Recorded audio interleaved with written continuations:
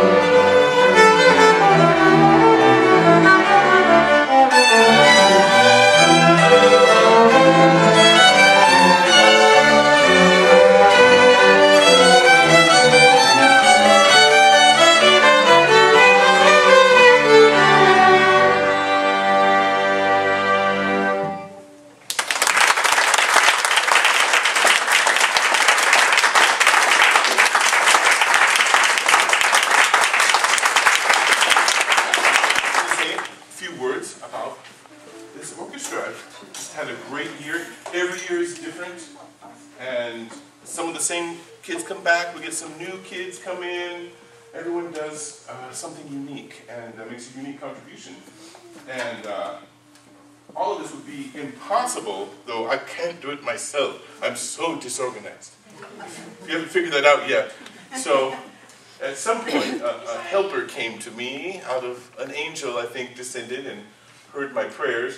And um, this is a person who is always here. I can never beat her here. Even when I try, like, I, I beat Irene, I beat Irene. And she, oh, I was just in the other room fixing something.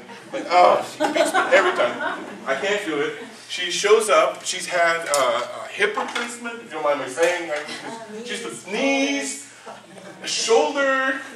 I come here one day, she has a sling on, and one arm, she's setting up the room. Oh, I just thought I would do it. You know, I can do it. It's easy. It doesn't bother me. I, I need to get out. I need like one arm. She's going around setting up the room. And she comes in and she's, uh, she brings the candy, because we bribe the kids a little bit. so she brings the candy and the treats, and, uh, and she brings just a tremendous amount of love and, and uh, sympathy and, uh, and talent too. She sits in and she plays. She practices the music very diligently and is a big support to me. So, uh, you know, I just, uh, I, I can't say enough about this wonderful lady, Irene Melton.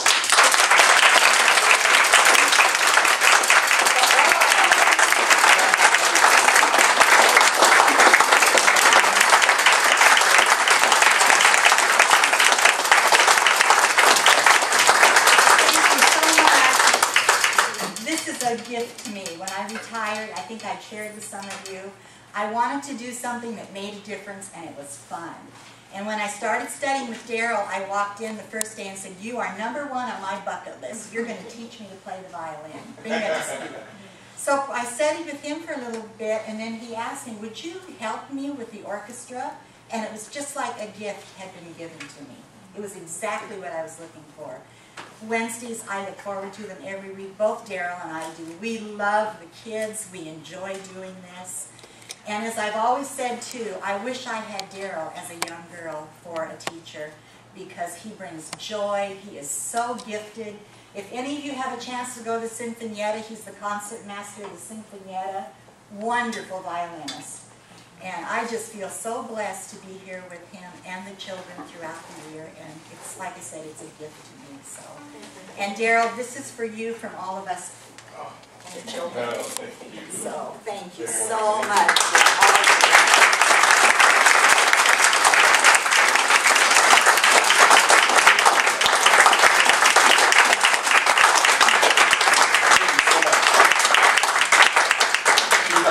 Again, it's my pleasure teach it, it doesn't feel like uh, uh, a labor at all. I mean, it's, it's just such fun. I love uh, to see when uh, a, a, person picks up a violin and they play Mary Had a Little Lamb for the first time. They figure out they can do that. And then, of course, they instantly they want to play Lord of the Rings. Everything else, you're like, no, you need to learn this first. No, I want to play. And they want to play all their movie themes. But it's great. So I just love it. It never gets old. So, uh, a few words I can say about uh, members of the orchestra today. Also, I have a, another guest. He's our, our my youngest intern. Um, so we were missing a couple of violins for this concert, couldn't be here, so we were a little short-handed, so to speak. And so uh, I asked uh, one of my private students to come in and play, and he is doing a fabulous job. He's a fantastic young man and uh, excellent player, and you got to play hooky a little bit too, too today, right? To come in and join us. So this is Theo Faber.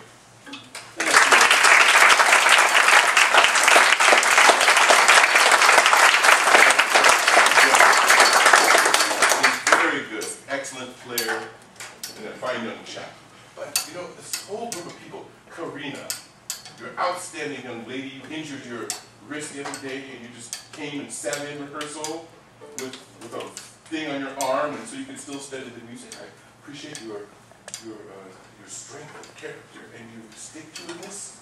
You're going to succeed. You just keep at it. All right, Dolly. My dear, the great smile. Okay, so we're going to start off again with the private lessons. This is a girl that never gives up.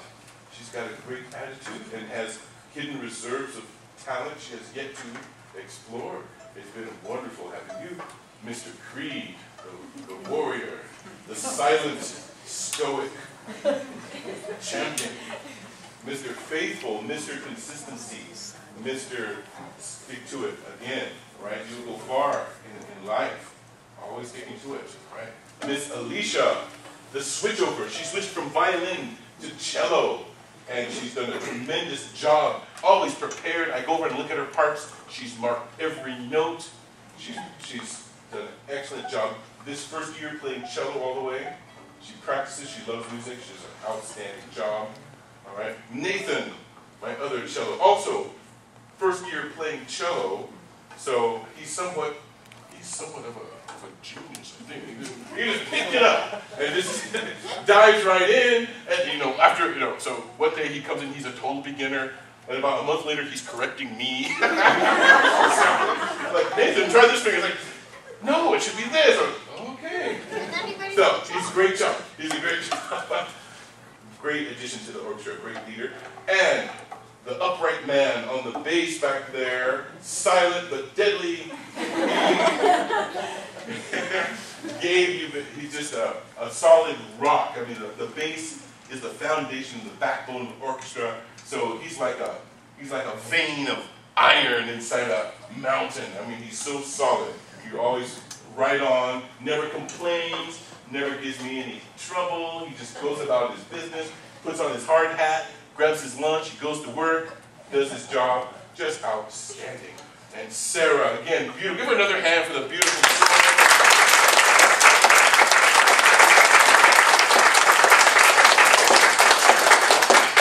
fantastic. And uh, she's just an honor student. I mean, she, you couldn't ask for, uh, you, you, just want to adopt her. You just want to grab her. You know, babysit my children.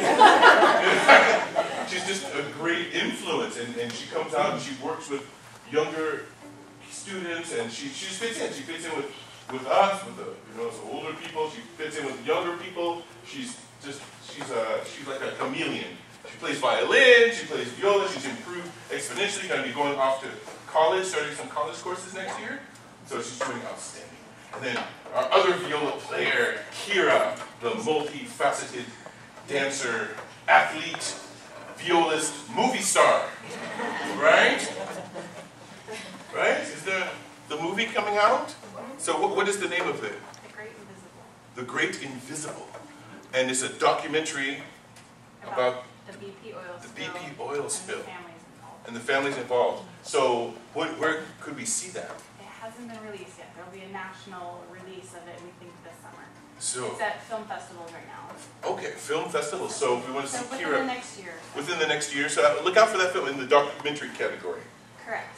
And the, the film crews came and lived in your house? unusual for documentaries we release nationally in the theaters, but this one will be. Oh, wow. So we will all watch out for that.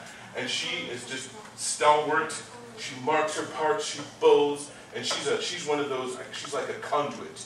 She just adds this incredible poise to, to the orchestra, and I really appreciate having her in the class. Then my, my, I guess he's my left-hand man over here, Emmanuel, the math whiz and the, the violin genius, incredible player. He's, again, he's one of those that has this, uh, he, I call him the diamond in the rough, but he's a diamond, you know, the size of the moon. And I, I really think he has this incredible potential, most, probably, maybe the most beautiful sound of a, of a student I've ever had, really, truly. So he's growing in confidence and he's pretty good with the math, so that's something I could never do. And, and Kate, can you see Kate right there? There's Kate. Kate, so our, you know, our smallest one, but she is, she is so bold and brave, and she's been absolutely fearless and a tremendously hard worker and very talented. I can't believe, how old are you? She's nine, and she's been, I think, when did you start, six?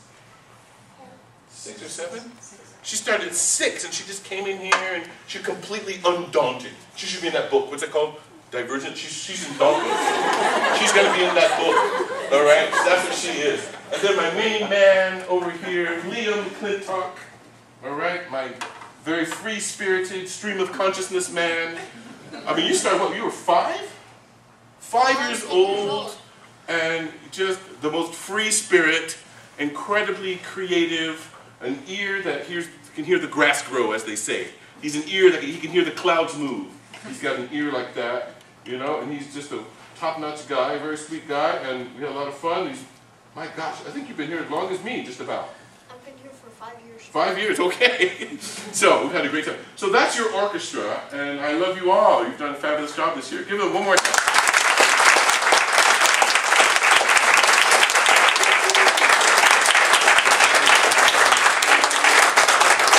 Somehow, we take all of those individuals and we somehow come together and take all our strengths and, and, and uh, hopefully hide our weaknesses and uh, make something come out. So, we're going to send you off with some movie music.